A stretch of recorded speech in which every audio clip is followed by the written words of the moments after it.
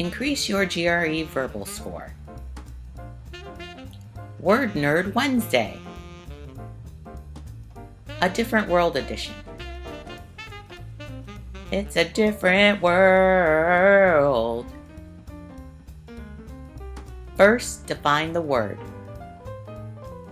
Second, use the word in a sentence. Let's go. Word number one. Pastoral, adjective.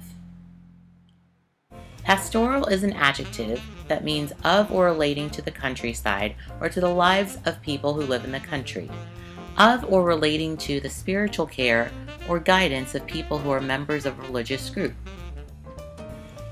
of or relating to the pastor of a church.